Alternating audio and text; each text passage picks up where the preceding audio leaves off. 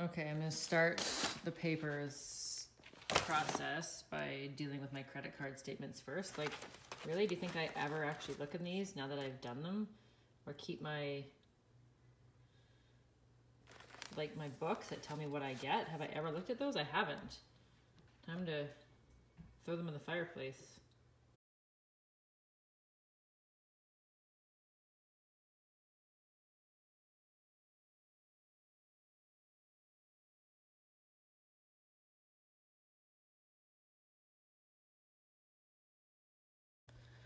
I think I'm nearing the end of this paper portion of the Marie Kondo thing, just verifying on the checklist.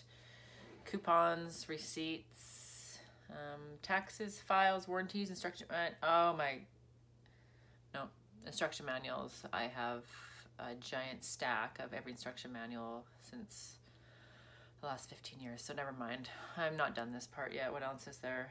Wrapping paper, checkbooks, greeting cards, greeting cards. I don't know, does that mean ones that have been given to you or ones that you're just holding on to in case you want to give to somebody one day, which is super useful.